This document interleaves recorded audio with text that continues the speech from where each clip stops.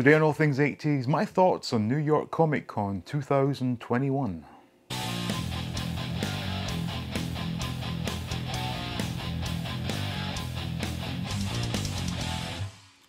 Welcome back to All Things 80s, and I have just returned from attending my first ever convention, and that was New York Comic Con 2021.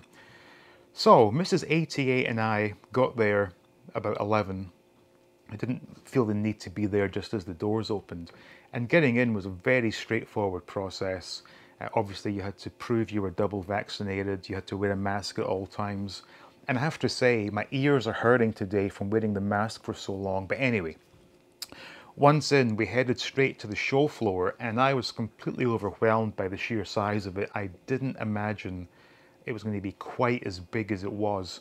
And by all accounts, a lot of the big names weren't in attendance this year. But with that said, there was still a ton of interesting things to look at and buy. And we made a ton of purchases, which we'll show you towards the end of this video, so stay tuned for that. Now, in terms of vintage, it was a little bit disappointing. There was some vintage for sale, but absolutely overpriced. And in particular, I was quite shocked to see one seller had a big bucket of beater Star Wars figures, and those were going for $11 each. And in my opinion, they were worth no more than $3 each. But, you know, it is a convention. They've got to make their money, I guess in terms of what was on offer, if you were a fan of Funko Pops, Marvel Legends, and to a lesser extent Black Series Star Wars, there were tons of those for sale. Now, because I don't collect any of those lines, I'm not really familiar with the pricing, but some of the Black Series was a bit of a joke, given that I did take on a couple of large lots uh, almost a year ago to resell they were charging things like 25 bucks for the Luke Yavin ceremony figure, which I could hardly give away. I think I ended up selling the one I had for about $4 or something. Um, also, the vintage Star Wars uh, toys that were there, uh, they were asking, I think it was in excess of $200 for an incomplete, dirty looking AT-AT. They had a boxed uh, TIE Interceptor, which was interesting, but I think they wanted 800 for that, and it wasn't brand new sealed, it was used in a beaten up box. The Funkos were just, everywhere you turned there were Funko Pops, and there were some of them selling for thousands of dollars, and I go, wow. Um, now, like I said, Mrs. AT8 and I bought a number of things, which I'm going to get to in just a moment, but one thing that really surprised me was there was only one booth that I really wanted to go to to make a purchase, and that was Topps. Because I know they have the new Star Wars Battle Plan cards out in the market, and it's my intention to buy a box of those from Topps. So when we got onto the show floor, I made a beeline for Topps and inquired about getting a box of these cards because they had a glass display with packets of their latest uh, releases and was told, no, but uh, we're not selling these at this show, but if you like, you can buy a box of Garbage Pail Kids. I'm like, nah, no thanks. Hi, are you selling the hobby boxes of the battle plans? Yeah, we're not actually selling those here. Okay. Um, these are just kind of on display, but what oh. we are selling is our Garbage Pail Kids set, which has okay. exclusive New York Comic Con All right. in it, and that's just at the end of the counter. All right, thank you. Fortunately, I did find another seller who was an independent seller, and I got a box. Now, in terms of it being overwhelming in, in terms of crowd numbers, it actually wasn't, but apparently they were only doing it on a 40% capacity compared to normal non-COVID years. And even at that, it was pretty busy at times. And I found myself getting a bit flustered by the crowd. And uh, also another thing is when I get hungry, I get pretty angry. What, what do they call that? Hangry. So uh, round about one o'clock, we headed down to the food court, but I was able to get myself some whiskey, some beer, and some food, and felt much better after that. Now, the highlight of the convention for me were the two encounters with William Shatner. The first being the autograph session, which I will show you right now what I picked up from that. So I managed to get my Captain Kirk Mego figure signed by William Shatner, and it was just such a bizarre experience for me because back in the 80s, when I was six or seven years old, I would watch Star Trek and Batman, and just to see him in person, to see that same actor that I watched as a kid, just brought back a lot of memories and was quite emotional for me. Then later that day, excuse me, uh, William Shatner did a panel where he was mostly sort of talking, you know, philosophically about the world, and of course he is going up into space next week. So there's a lot of chat about that. But it was just bizarre knowing that that was the person that I idolized as a young kid in the 80s. So it was a nice sort of fitting end to the day, I would say. So, like I said, I have no way of comparing my experience to any other conventions, having not attended any, but I will say this, I will definitely go back next year. Um, the only concern I have is that it's going to be much, much busier. But with that said, um, it wasn't too bad this time. And yes, convention prices are just completely ridiculous. And in particular, uh, downstairs at the bar area, um, I think it was $11 for a whiskey and $9 for a small can of beer. So I, I, wasted a lot of money at the bar, but in saying that, I had a great time and I felt so mellow, so relaxed. And I think Mrs. AT8 was quite happy because she could tell I was getting a bit edgy before lunch and before a drink. Now, I'm going to go through all our purchases in order, and I think we did pretty well for ourselves. So let's see what it was that we all bought from New York Comic Con 2021. So the first stand that I encountered with anything of interest was a person who were just selling nothing but Lego minifigures. And I'm a sucker for Christmas, so I got a Christmas themed uh, Grogu in his pram, a Santa Claus Yoda, a Santa Boba Fett, and a Santa Darth Vader, which I think I may actually have already because I did get a few Christmas Lego advent calendars in the past and this appears to be like a generic snowman. So that was the first thing we bought. And I think the offer was five figures for 20 bucks, which I know is ridiculous, but hey, it's a convention. The next stop we made was at a booth that sold magnets and pin badges. And I think their offer was four magnets for 20 bucks. So I picked up an Evel Knievel, an Adam West Batman, Batman comic book cover and Mrs. AT8 picked out the Stranger Things. So next up there was a stand that were selling various sort of plush items and they had these pretty cool travel pillows. So Mrs. AT8 chose the Red 5 X-Wing and I went with the TIE Fighter. And what's cool about these is they have a eye mask built into them. So you take the eye mask out and it has velcro so you can strap it on so you can you know once the pillar's around your neck you can put the eye mask over. And on the red 5 it's pretty cool because they actually have the yellow uh, to sort of emulate Luke Skywalker's uh, visor. So those are pretty cool. And I believe we got the two of them.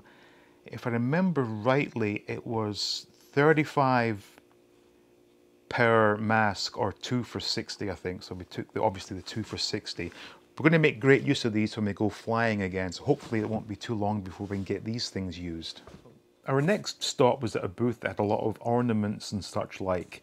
So I saw this Wonder Woman statue and I thought my god I gotta have that. And uh, this I think was $50 which is probably way overpriced. In addition to Wonder Woman I saw a Batman 66 item that I just had to have. And thinking about it now, I should probably have checked this on site because I've not opened this yet and I don't know if it's damaged or not. And if it is damaged, what do I do? So this will be a, a an unboxing, I guess, and hope to God it's uh, not broken because I've not actually seen this in person yet, and I'm just thinking I should really have got this opened up. But then again, I didn't have any knife with me because obviously they were had to go through this you know, the security check very much like an airport, so I didn't want to get flagged for bringing a knife in. And I normally have a small uh, keychain knife with my house keys. So, moment of truth. Oh, nice box inside actually. That's cool. Yeah. So there we go. It's the uh, Surfs Up Batman. And from Iron Studios. I can't say I've heard of them before, but it looked nice on display. Ah, I've got a nice styrofoam insert as well.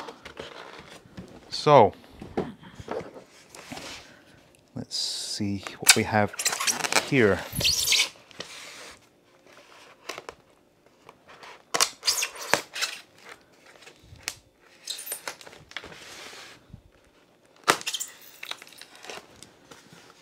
Okay.